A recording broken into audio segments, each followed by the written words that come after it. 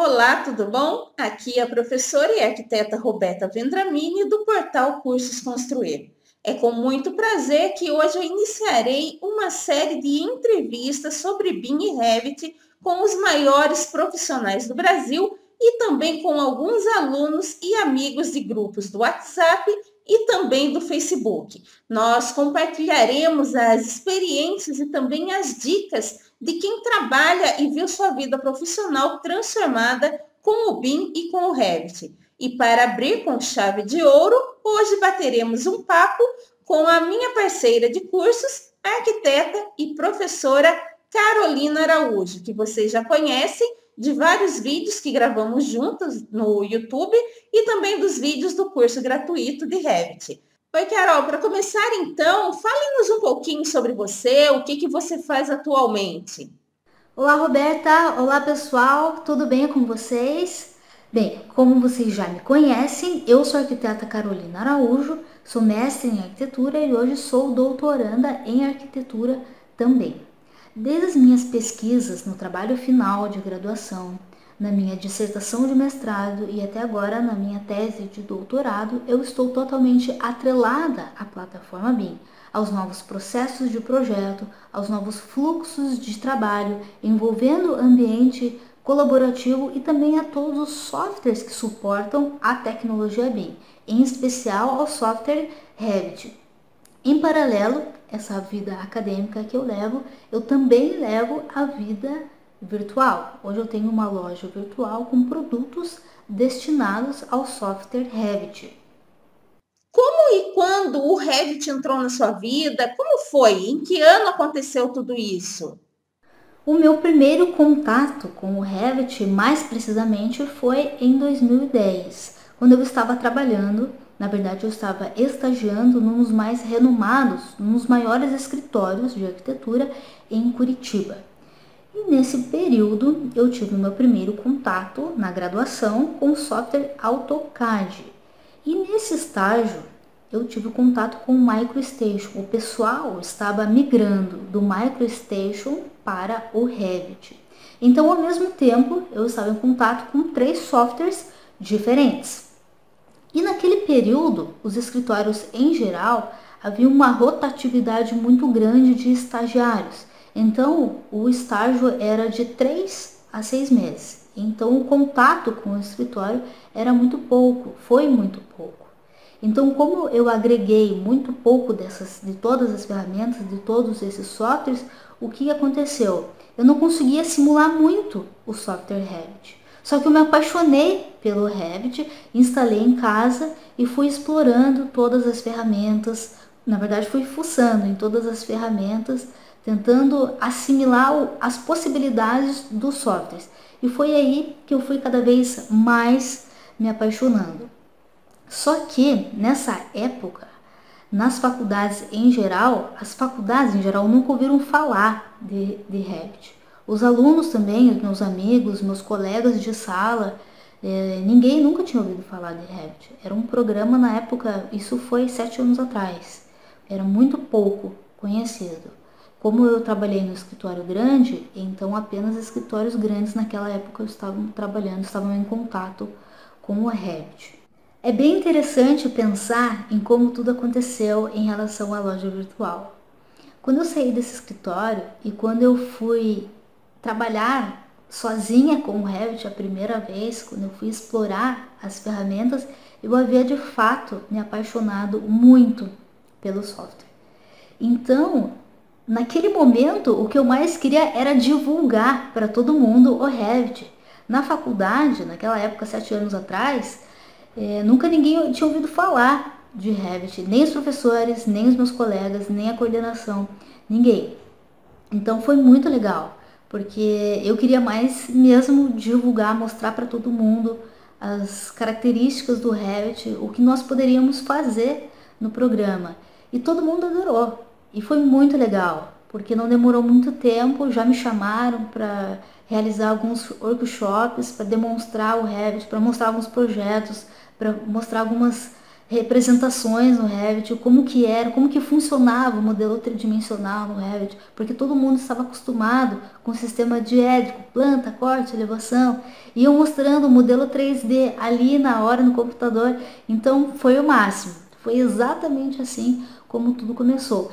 E como o pessoal estava gostando muito da minha didática, da minha forma de falar, de ensinar, o pessoal pediu para eu gravar aulas. Como não havia muito tempo para dar aulas presenciais, eu, o pessoal pedia para gravar. E foi em 2014, ou em 2010 eu conheci o Revit, foi em 2014 que eu gravei o meu primeiro curso. Foi exatamente isso. Eu gravei o meu primeiro curso e a partir de então, desse curso, que eu tive que abrir, que montar uma loja virtual. Meio a contragosto, porque eu não queria gravar, eu só queria ajudar as pessoas em casa mesmo. Então, meio a contragosto, eu gravei a loja. Só que hoje a loja, eu respiro a loja. Hoje, é, não sei dizer se é mais a vida acadêmica ou o mundo virtual, o mundo digital. Os dois ali estão extremamente em equilíbrio. Mas foi exatamente assim como tudo começou. Quais softwares você usava antes de conhecer o Revit? Bem, como eu havia mencionado anteriormente, eu tive pouquíssimo contato tanto com o AutoCAD como com o MicroStation, os dois programas em plataforma 2D. E o Revit, eu tive um contato, digamos assim, muito precoce, de fato muito precoce, porque eu conheci ele no primeiro período da graduação e ter esse contato com o Revit no primeiro ano da graduação, realmente eu vejo, hoje eu vejo que é um privilégio muito privilégio. Então, quando eu tive esse contato com o Revit, o Revit ele foi uma ferramenta fundamental para o meu próprio entendimento da arquitetura de uma maneira geral, de edifício de uma forma geral, e também em relação ao urbanismo. Qualquer elemento, qualquer elemento, seja uma praça, seja um elemento, um equipamento urbano, quanto um edifício, eu comecei a pensar tridimensionalmente. E isso só foi possível, só foi devido ao Revit. Como era antes e como é agora depois do Revit? Conte com detalhes o que mudou realmente. É, como você trabalhava, qual é o seu fluxo de trabalho hoje com o Revit, com o BIM? E quais foram as maiores dificuldades, os maiores desafios durante todo esse processo? Na verdade, não houve um antes e um depois para mim. Houve apenas um depois. Sei que isso é um baita de um privilégio passar por toda a jornada da graduação pensando na forma 3D, na forma tridimensional. Então, como que aconteceu? É, eu andava nas ruas e prestava atenção nos equipamentos urbanos e mentalizava esses equipamentos. Quais equipamentos são esses? Por exemplo, um poste, uma floreira, um banco, qualquer equipamento. Mentalizava, jogava na minha cabeça no mundo 3D, imaginava o 3D do Revit na minha cabeça e começava a girar esses elementos, a aplicar materiais, adicionar parâmetros e todas as possibilidades, todas as ferramentas que poderiam permitir nesse giro, nesse giro. Então, foi fantástico e isso eu sei que só é possível com o software Revit. E aproveitando já esse bate-papo, eu gostaria de contar uma coisa muito legal que hoje eu recebi a informação hoje na sala de aula, é, no doutorado. Então, no doutorado, os professores me contaram que na UFSC, na Federal, eles vão colocar o Revit, a disciplina de Revit no primeiro período. Então, isso no mundo acadêmico da arquitetura é um passo extremamente grande. Foi um passo grande não projetar em pranchetas e incluir o CAD em uma disciplina na graduação de arquitetura. Agora, incluir o Revit no primeiro período da faculdade é um passo gigantesco. E são com esses passos que realmente nós vamos levar, nós vamos conseguir erguer o BIM no Brasil.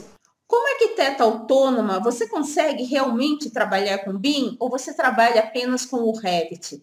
Como é o seu fluxo de trabalho? E como que você se relaciona com os profissionais de outras disciplinas, caso você consiga realmente trabalhar com BIM?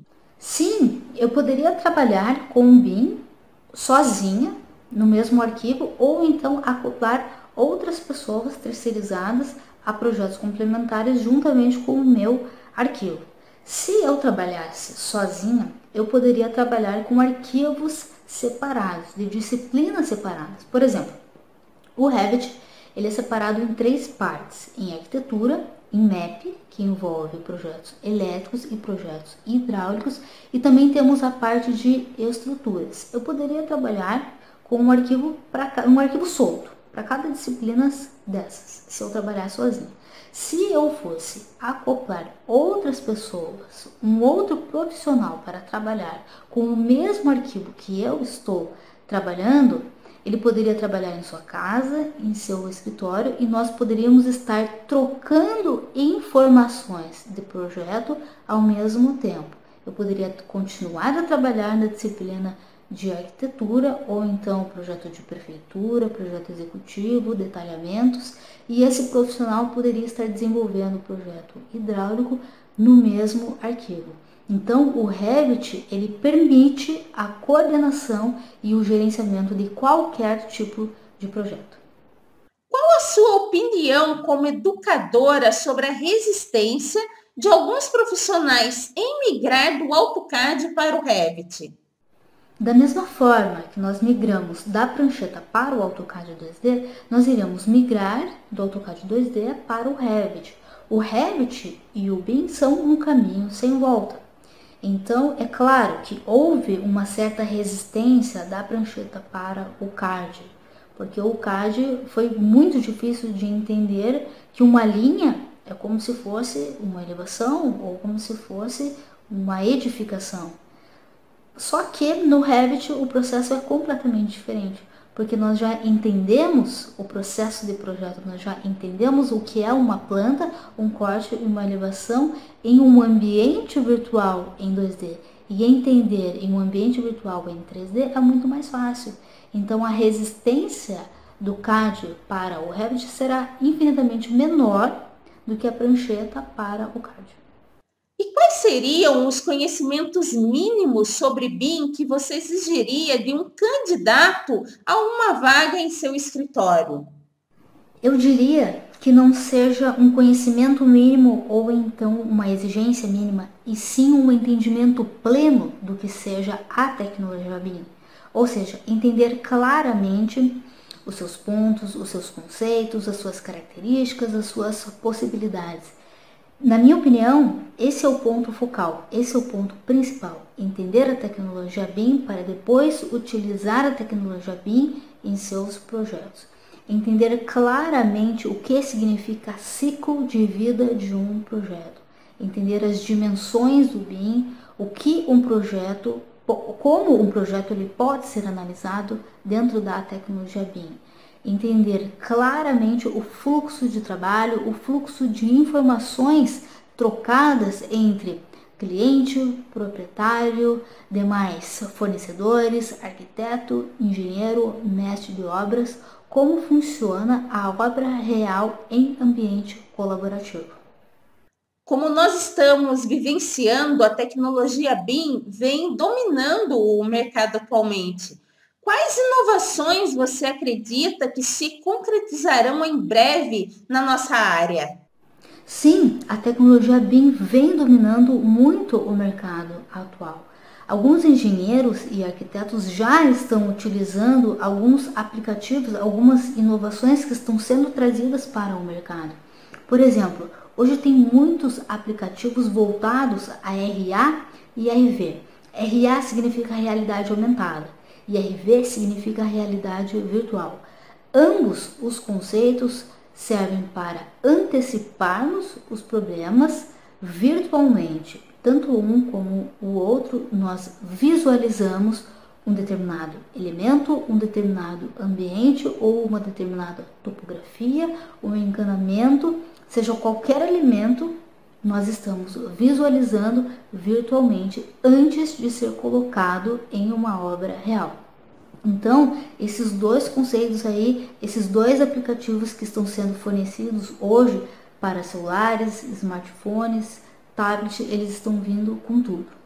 E para finalizar, quais conselhos você daria para os jovens que estão ingressando no mercado de trabalho agora? Bom, para quem está ingressando na faculdade, o meu conselho é o seguinte: não precisamos necessariamente aprender um software 2D antes de aprendermos um software 3D. Podemos sim mergulhar no mundo tridimensional. Na verdade, nós podemos mergulhar no mundo do Revit antes de mergulharmos no mundo 2D, do AutoCAD. Isso não afetará em absolutamente nada na nossa trajetória da vida acadêmica. Muito pelo contrário, poderá facilitar muito o nosso entendimento do que é um projeto digital. E para quem está se formando, o meu conselho é o seguinte: certamente na faculdade o pessoal teve um contato tanto com software 2D como o software 3D, até porque a faculdade exige esse contato. Mas pode ser que a faculdade não tenha exigido o contato com a plataforma BIM, então, o meu conselho para quem está se formando é o entendimento do que é BIM. E não apenas o entendimento, e também a prática. Porque pode ser que em um determinado momento da vida profissional o BIM bata na sua porta. E quando ele for bater, é extremamente viável que nós estejamos já preparados para isso. Pode ser que ele venha no momento em uma obra, em um ambiente, em um projeto colaborativo, em um projeto que abranja uma, um maior número de profissionais, um maior número de disciplinas. Então, quando isso acontecer, é extremamente viável que nós já saibamos o que é BIM, já saibamos trabalhar com BIM. Carol, gostaria de agradecer muito pela disposição em compartilhar sua experiência conosco. Um grande abraço e até mais. Pessoal, eu espero muito que de alguma forma eu possa ter contribuído com esse bate-papo, que eu possa ter declarado algumas ideias em relação a Revit, em relação a BIM, em relação à minha experiência profissional. É sempre um prazer para mim compartilhar conhecimento, seja ele qual for, ok? Bem, agradeço muito a você que me acompanhou até aqui, que me acompanha nas redes sociais, ok? Agradeço muito a minha amiga, parceira, arquiteta Roberta, por mais uma oportunidade, por esse bate-papo, ok? Abraço, Roberta, abraço pessoal e até a próxima!